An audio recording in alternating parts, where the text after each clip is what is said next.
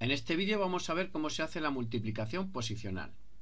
Vamos a hacer la mm, multiplicación como, nosotros lo hemos hecho siempre. Esta es donde pone así lo hacemos.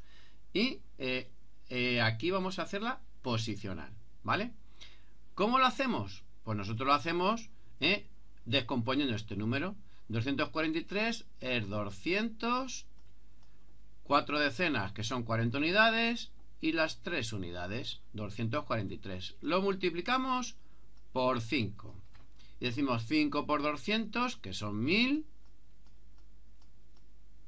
5 por 40, que son 200. Aquí vamos poniendo las sumas parciales, 1200. Y 5 por 3, que son 15. 1215. ¿Vale?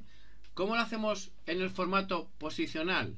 Bueno, pues en el formato posicional lo que vamos a hacer es multiplicar por 5 de la misma manera, pero en lugar de poner el valor en unidades, pongo su posición, es decir, 2 centenas, 4 decenas y 3 unidades. Y vamos multiplicando. Podemos multiplicar en el orden que queramos. Podemos empezar a multiplicar 5 por 2, o 5 por 3, o 5 por 4, como yo quiera. Voy a multiplicar por las unidades. 5 por 3, 15. Como son unidades, las unidades de las unidades, que son unidades. 5 por 4, que son 20. Pero como estoy ya multiplicando por decenas, eh, las decenas por unidades, que son decenas. Y 5 por 2, que son 10 ¿eh? y como ya estoy multiplicando por centenas, pues el resultado son centenas. Ya lo que hacemos es reorganizar esto.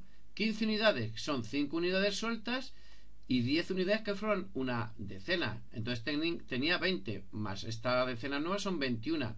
21 decenas que son una decena, ¿vale? Y este 2 que serían 20 decenas que son dos centenas, que las llevo aquí. 10 centenas que tenía más, más las dos nuevas 12 centenas, ¿vale? 12 centenas serían 1200, la decena 10 y el 5 1215. Como veis, me sale lo mismo en los dos formatos.